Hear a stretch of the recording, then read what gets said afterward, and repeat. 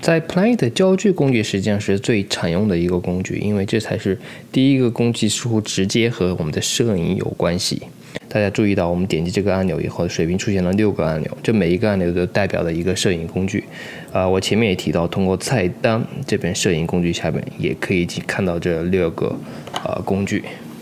焦距工具是第三个。当你选择焦距工具的时候，它的特点是出现了一个绿色的这样一个扇形。那在这演示之前呢，我第一步做的操作呢，我先把这个呃细腻功能给关闭掉，因为焦距和细腻功能是没有直接关系的。同时呢，我会把我上一次做的一个标记给文件给打开，就是上海。我们在这里呢，我们可以看到上次做好的标记。好，下面我们点击这个相机，把它设为我们的相机位置。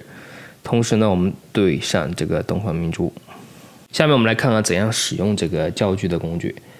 首先呢，这个焦距工具这个绿色的上行是这样可以左右去拖动它的，拖的同时实际上就表示你用这个二十八毫米焦距的镜头，你左右去移动你的镜头，就是模仿那样的一个操作。好，大家看好，我在这边拖动这个的时候，大家注意看这个焦距，哎，它是不是在跟着改变？实际上它就意思是说我用不同的这个视野对应的焦距是多少。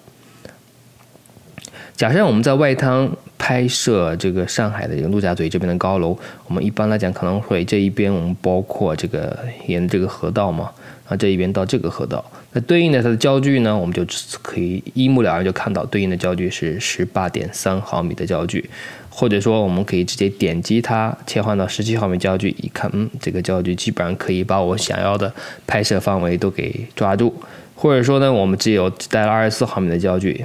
一看哎好像有点勉勉强强了啊。甚至我们可以模拟说横幅或者竖幅都是什么样的情况，在地图上可以看到这些东西。在这边教大家一个技巧，因为在焦距工具会有这个绿色的上行占住了地图的很大一个面积嘛，想点击这个东方明珠这个标记是没法选择上的，那怎么办呢？你就去暂时切换到第一个工具坐标工具，或者是第二个工具距离工具，暂时切换回去，我们点它，这时候你就可以选中它了。然后再切换回到焦距工具就可以了啊，这就是一个小技巧，也是相当于啊，为了避免这个屏幕没法选中的这个问题。啊，下面的这个方位角是可以点击的，你可以直接输入一个方位角，或者说你可以点这个拍摄主体，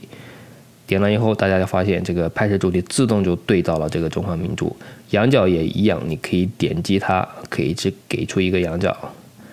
焦距也是可以直接选中的。这边呢，我们并不是每一个焦距都有，因为每个焦距都写出来太多了，所以我们这边列出来的就是一些比较常用的焦距，比如说七十五后面就直接就八十五了，啊，到了几百以后呢，就差不多一百才会有一个，你看五百后面就六百、七百了，中间都没有。原因就是因为啊，最多也就到了三千，但是并不代表说这些中间的这些焦距你都没法选择了。你在这右下角、左下角呢，还有一个输入其他值这个按钮，你可以点击它。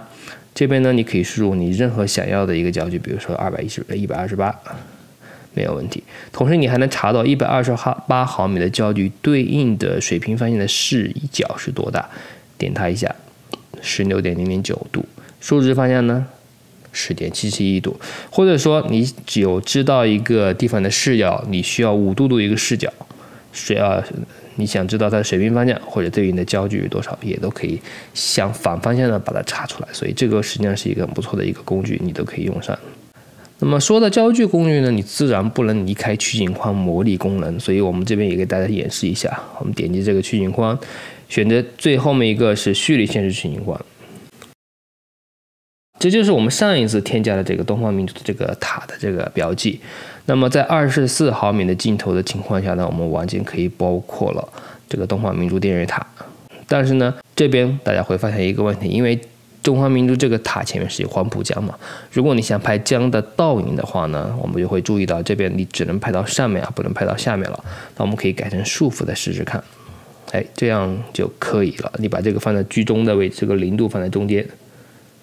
剩下，尽管我们没有把倒影给画出来，但是你可以脑袋里面可以想一下，哎，它对应的这个倒影是可以选的，或者说你还是想横幅拍，你可以改成用十六毫米的镜头试试看。